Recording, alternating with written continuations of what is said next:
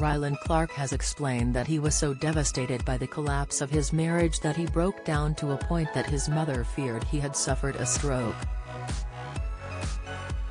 The 33-year-old reality star was married to ex-Big Brother contestant Dan Neal, 43, in 2015, but their relationship came to an abrupt end last year.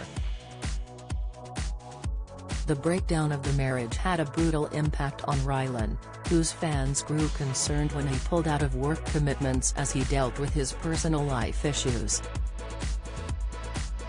Now Rylan has explained just how rocked he was by the end of his marriage, saying he was so distraught he was left unable to eat or even speak as he struggled with his grief. He told the Happy Place podcast, My body did completely shut down. I wouldn't eat. I went through a stage where I couldn't even talk, which for some people might be quite handy. My speech was just slurred. My mum thought I was having a stroke. My body just went. I went down to 9st and I am 6 foot 4. Family and friends were all worried for the star when he started pulling out of work events as he dealt with the end of his marriage. He said, two days before I was due to do Eurovision, everyone knew when I wasn't at Eurovision something was wrong. However, Rylan now says he thinks stepping back from work was a bad idea. He said, if I had done it, I may not have gone on such a quick decline. And when I say quick decline, it felt like minutes. I felt like it had the jab and I was shutting down. He went on to explain that he realized he did need a break having been working in the public eye almost non-stop since he burst onto screens as a contestant on The X Factor back in 2012. He said, it was hard but on reflection, yes, I needed to stop. Maybe it was an amalgamation of 10 years. I didn't stop since the day I went on The X Factor.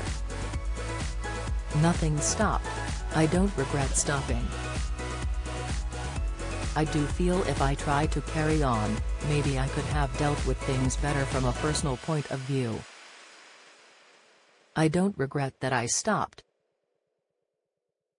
The star went on to explain that he has been on a journey of self-discovery as he recently enjoyed a trip to Spain on his own.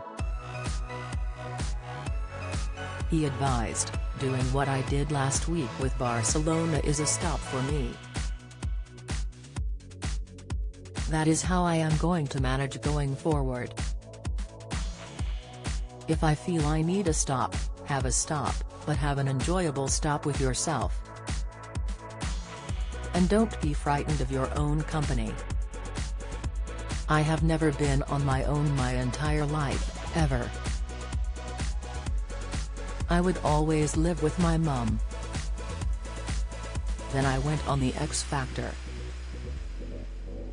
Then I met my ex-partner and we moved straight in together. I had never lived on my own, at 32. I was so frightened. That is what I was frightened of, being on my own.